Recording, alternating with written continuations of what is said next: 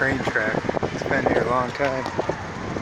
Not sure when they built it, but it's really fantastic. Look at this. They got details of local stores and places.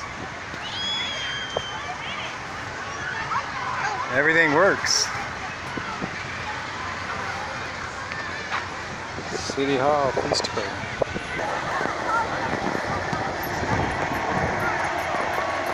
Going under the bridge.